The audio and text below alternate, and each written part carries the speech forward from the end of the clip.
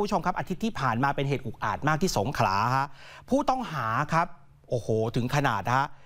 มาวางแผนปล้น แล้วก็หวังจะชิงตัวประกันนะคุณผู้ชมฮะสุดท้ายเนี่ยแหละครับคุณผู้ชมครับนี่หนึ่งใน9ฮะจับได้แล้ว5ฮะประกอบด้วยนายอันฟานแก้วสีแก้วเรืองศรีนายธีรวุฒิหัวแหวนนายกัมปนาตหมัดอาดัมแล้วก็นายเสริมศักดิ์ศรีสุวรรณแล้วก็นายประวิทย์หรือว่านุกฤทธิเทวาครับ เป็นผู้ต้องหา 5 ใน 9 คนนะครับคดีพยายามบุกชิงตัวนายธนกร ผู้ต้องหาคดียาเสพติดครับก่อนจะมีการปล้นยาเสพติด และปืนของทีมปลัดและอสจังหวัดสงขลาขณะที่ขยายผลล่อซื้อยาเสพติดนะครับคดีนี้มีผู้ต้องหาทั้งหมด 9 คนนะครับแต่ว่าหลังเกิดเหตุตำรวจตอนนี้จับได้แล้ว 5 คนครับเมื่อวานนี้มีการนำทั้งหมดไปทำแผนนะครับ โดย ตั้งแต่ร้านก๋วยเตี๋ยวริมทางครับ ที่กลุ่มผู้ต้องหามานั่งกินก่อนที่จะไปก่อเหตุ หลังจากนั้นครับแวะริมทางเพื่อหยิบถุงขยะ ใช้สำหรับหลอกฝ่ายตรงข้ามว่าเป็นถุงใส่เงินและยาเสพติด หลังจากนั้นขับมาที่จุดที่เกิดเหตุเพื่อป้นรถของเจ้าหน้าที่ครับโดยตำรวจเนี่ยนำรถที่ผู้ต้องหาใช้ในวันก่อเหตุมาทำแผนครับจอดประจำจุดเพื่อจำลองเหตุการณ์ แล้วตำรวจเนี่ยมีการพาไปชี้ทุกจุดครับที่กลุ่มผู้ต้องหาก่อเหตุว่าจะเป็นบ้านที่ใช้เป็นจุดวางแผนชิงตัว จุดที่มารวมตัวกันหลังก่อเหตุเพื่อแยกย้ายหลบหนีแล้วก็หลังชี้ครบทุกจุดแล้วนะครับ ก็รีบคุมตัวผู้ต้องหาทั้งหมด กลับไปยังสพรัตภูมิทันทีนะครับซึ่งนายกัมปนาตหนึ่งในผู้ต้องหาบอกว่าพวกเขาเนี่ยไม่รู้ว่ากลุ่มคนที่นัดเจอเนี่ยคือเจ้าที่ฝ่ายปกครอง คิดว่าเป็นพวกเดียวกันพวกยาพวกค้ายาด้วยกันเนี่ยนะฮะก็เลยวางแผนเพื่อชิงตัวนายธนกรครับแต่พอมาถึงจุดหมายก็ขับรถมาจอดปาดหน้า แล้วก็เอาถุงขยะที่หยิบมาจากข้างทางไปใส่ท้ายรถคู่กรณี ก่อนใช้ปืน M16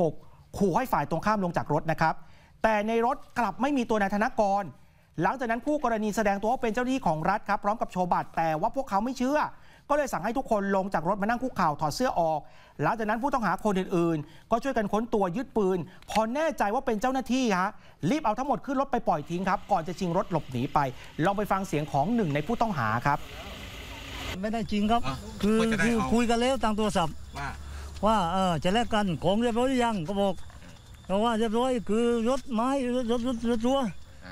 มีของเรียบร้อยแล้ว แค่ว่าต่อยแล้วก็เปิดความปร่โองเคแล้วก็เขาบอกว่าเขาไม่ลงแล้วออกออกเขาไม่ลงเขาไม่ลงแล้วก็ทีนี้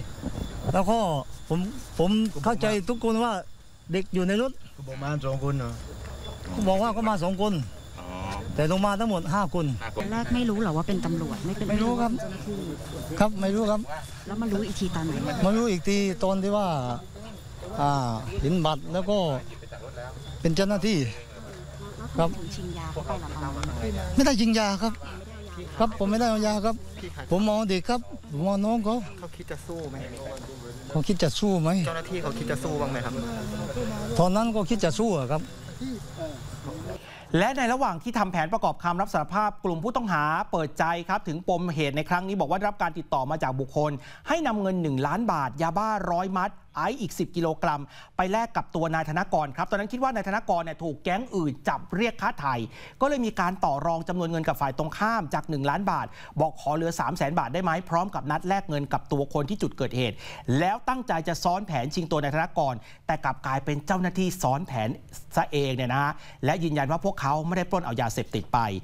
คดีนี้มีผู้ต้องหา 9 คนนะครับ จับได้ 5 อีก 4 ยังจับไม่ได้นะครับ แต่ตอนนี้มีการออกหมายจับ แล้วก็ให้ชุดสืบสวน อยู่ระหว่างได้ล่าตัวแล้ว ส่วนประเด็นที่ผู้ต้องหาบอกว่ามีการเรียกเงินจากคู่กรณี อันนี้ต้องสืบสวนอย่างละเอียดว่าเป็นแผนหรือเป็นการเรียกรับผลประโยชน์จริงนะครับอะเดี๋ยวเราตามความคืบหน้าเรื่องนี้ต่อนะฮะนักข่าวของเราคุณภัยจิตก็ยังอยู่ในพื้นที่สงขลาอยู่นะครับ